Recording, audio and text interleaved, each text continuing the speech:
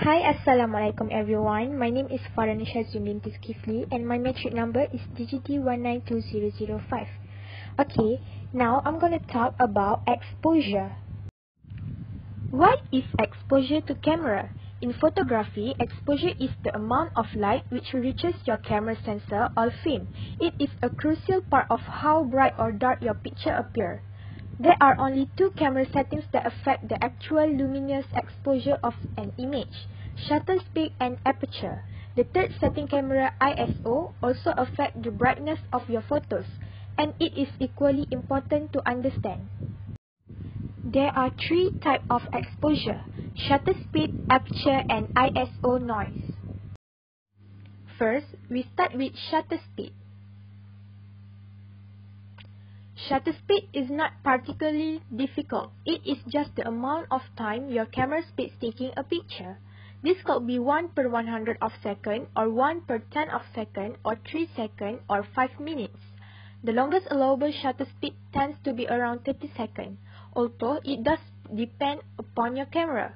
For example, on the Nikon D850, you can shoot any shutter speed from 1 per 8000 second to 30 second, as well as a time mode for even longer exposure. Next, we proceed to aperture. Aperture is very similar to the pupil of your camera lens. Just like pupil in your eye, it can open and shrink to change the amount of light that passes through. It is made up of several blades. When it is dark, you can open the aperture blades in your lens and let in more light. Aperture is written as f number for example, you can have an aperture of 5 slash 2 or 5 slash 8 or 5 slash 16 and so on.